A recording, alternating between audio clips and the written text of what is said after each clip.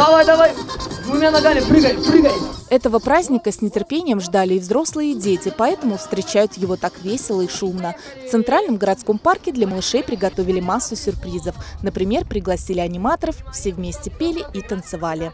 Сегодня мы продолжаем отмечать День защиты детей. Порядка 500 деток уже успели поучаствовать в наших мастер-классах и уже успели отлично потанцевать и повеселиться в компании кота Коржика.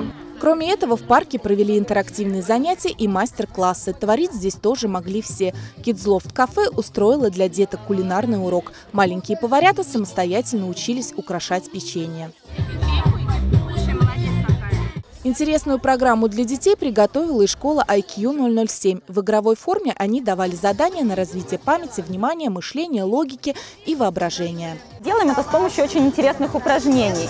Такие упражнения вы не увидите нигде, скорее всего, и уж точно не встретите в процессе обучения.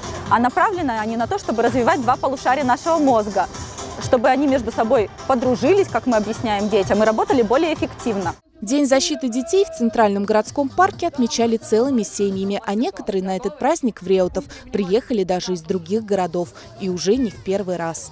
По опыту прошлогоднего, прошлогодних прогулок э, в этом парке, как бы знаем, что здесь всегда очень весело, задорно, детям здесь очень нравится.